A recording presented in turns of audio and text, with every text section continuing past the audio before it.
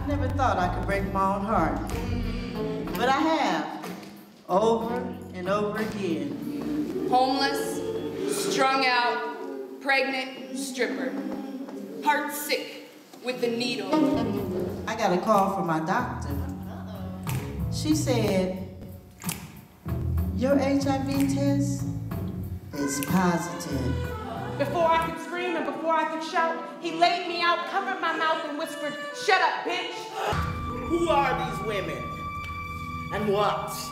What are they to you? To you? To you?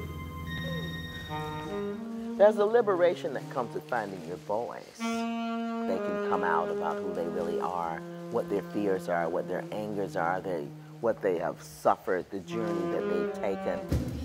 I am healing the memories of being raped. Once I do my piece, I feel so relieved. I'm healing myself from the inside.